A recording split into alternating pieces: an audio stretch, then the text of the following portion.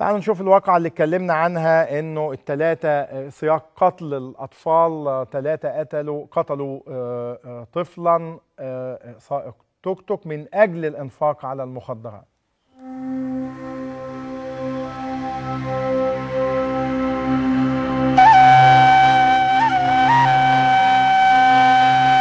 كلمة طعنوه وشنقوه ده باخد هتحش في قلبي بأمور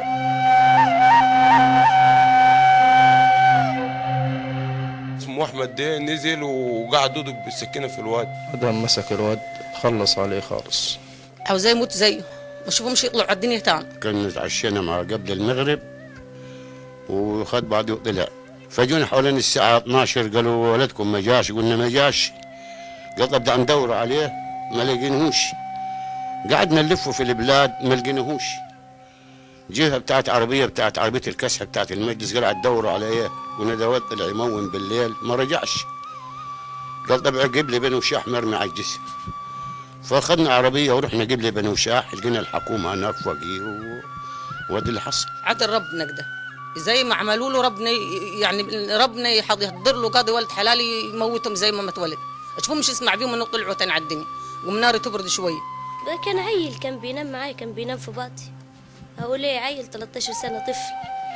تلت آه، حمير عليه ليه مفهومش واحد عنده رحمة؟ إزاي يعني يذبحوه ويقطعوا إيده ويدوله 16 طعنة ولا 10 طعنات؟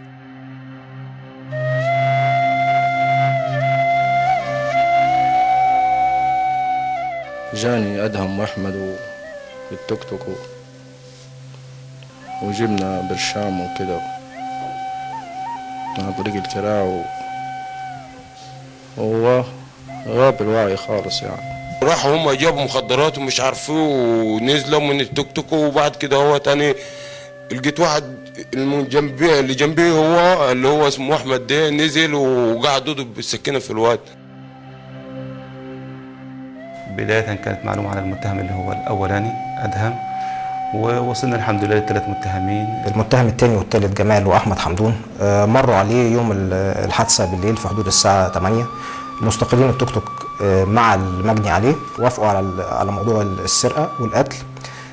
طبعا عشان قلبهم يجمد في موضوع القتل آه، اتفقوا ان هم يجيبوا مخدرات وطلبوا منه إن هو يطلع على طريق بني وشاح مطرح ما قتلوه الطريق ده بالليل بيبقى معزول شوية وما ما فيهوش مساكن على الجانبين.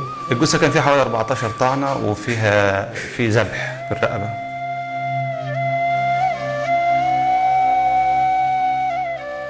ربنا كبير هو اللي خلص له حقه حسبي الله ونعم الوكيل.